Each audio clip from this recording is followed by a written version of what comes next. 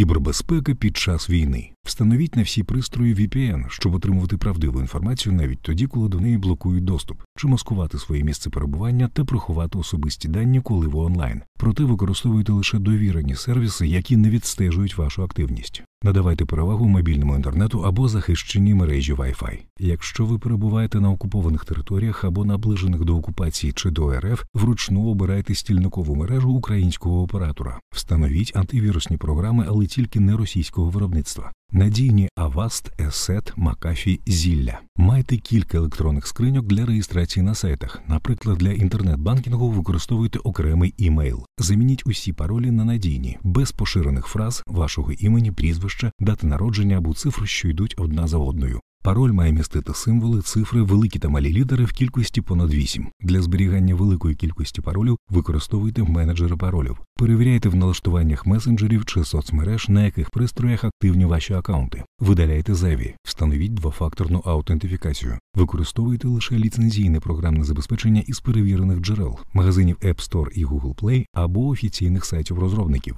Зберігайте важливі особисті файли в зашифрованому вигляді або в прихованих папках та альбомах. Блокуйте гаджет одразу після закінчення роботи. Завершуйте сесії та виходьте з акаунтів на пристроях, якими не користуєтеся. Поділіться цими порадами. Це може врятувати. Довідка.інфо